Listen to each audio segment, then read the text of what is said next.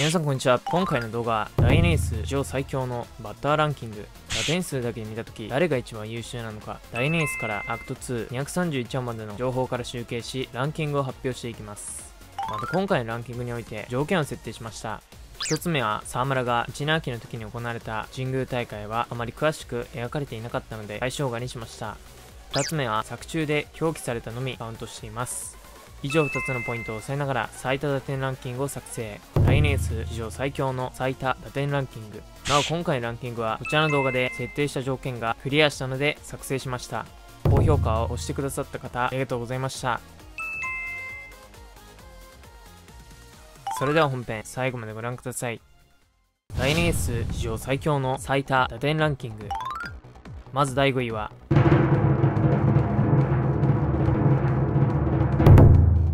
聖堂の白洲健次郎。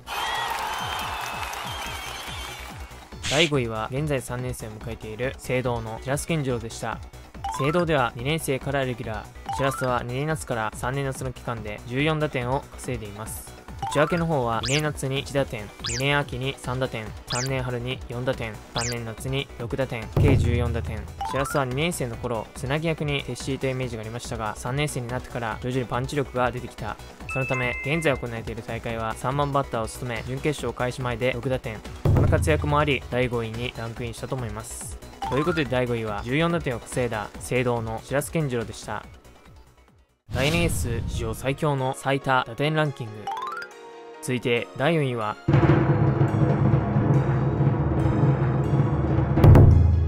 薬師の驚き大地第4位は現在2年生を迎えている薬師の驚き大地でした。薬師では1年夏からレギュラーを張っています。大地は1年夏から2年夏の期間で15打点を稼いでいます。内訳の方は1年夏に3打点1年秋に1打点2年春の選抜で2打点2年春の関東大会で1打点。2年夏に1打点計15打点大地は作中でシート級のパワーを披露している。特に1打点を稼いだ1年秋この大会は1大会で8本のホームランを打っています。また役所は制度より詳しく各バッターの詳細が描かれていなかったので制度のように詳しく試合の詳細が描かれていれば30打点は置いていたと思います。ということで第4位は15打点を稼いだ薬師の驚き大地でした。来年エース史上最強の最多打点ランキング第3位の発表前にここで番外編。今回惜しくもトップ5入りしなかった10位から6位を見ていきます。まず第10位は聖堂の結城正史でした。正史は1年春から1年夏の期間で5打点を稼いでいます。内訳の方は1年春に2打点1年夏に3打点計5打点。まだ正史は1年生であるため今後も楽しみの一人です。続いて第9位は薬師の秋葉元聖堂の結城哲也。以上2名にこの2人は作中で6打点を稼いでいます。秋葉の方の内訳は1年夏に5打点1年秋に1打点計6打点。一方元聖堂の結城は1大会のみで6打点。結城は1年秋から1軍にいるため1年秋から描かれていればもっと上の順位になっていたと思います。で第8位は元稲津の原田聖堂の金丸。以上2名にこの2人は作中で7打点を稼いでいます。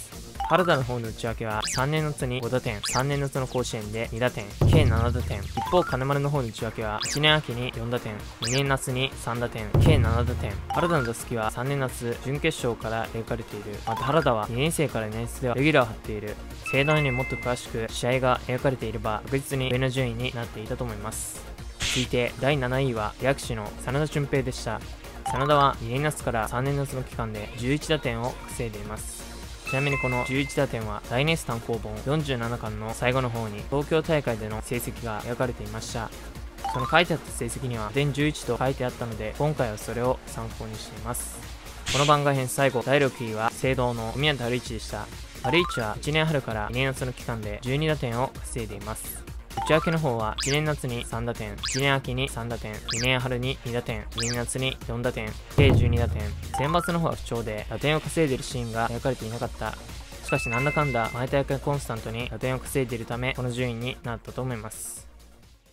ということで本題に戻り第2エース史上最強の最多打点ランキングトップ3の発表。まず第3位は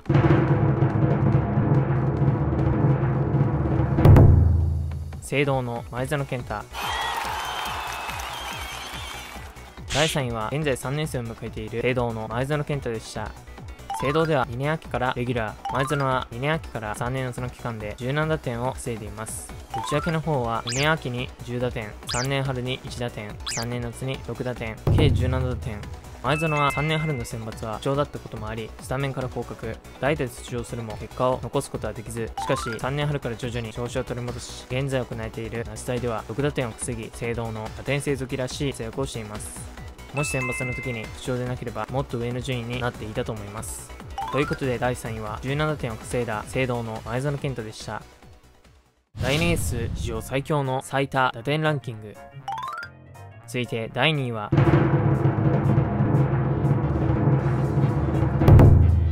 ナイスの山岡陸。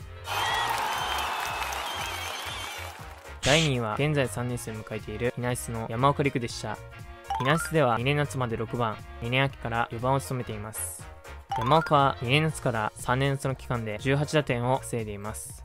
内訳の方は2年夏に2打点、2年夏の甲子園で4打点、2年秋に1打点、3年春に6打点、3年春の関東大会で2打点、3年夏に3打点、計18打点、山岡がこの成績を残したのは1年秋田以外の全ての大会でホームランを打ったからだと思います。ちなみに2年春の関東大会のホームランは何点入ったのか詳しく描かれていない。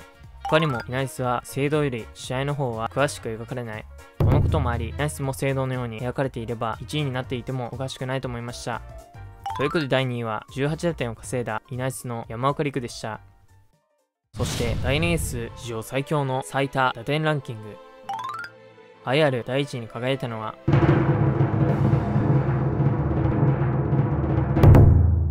聖堂の三木和也第1位は現代3年生を迎えている聖堂の三木和也でした。三木も山岡と同じく聖堂では2年夏まで6番2年秋から4番を務めています。三木は2年春から3年夏の期間で19打点を防いでいます。内訳の方は2年春に4打点、2年夏に4打点、2年秋に4打点、3年春に3打点、3年夏に4打点、計19打点。実はみゆき、2年夏以外は全ての試合でホームランを打っている。そのため、作中で書かれた公式戦では19打点を稼いだのだと思います。ちなみにホームランの方は2年春に1本、2年秋に2本、3年春に1本、3年夏に1本、計5本。この5本は、聖堂の選手の中では一番となっています。ということで、第1位は19打点を稼いだ聖堂の三木和也でした。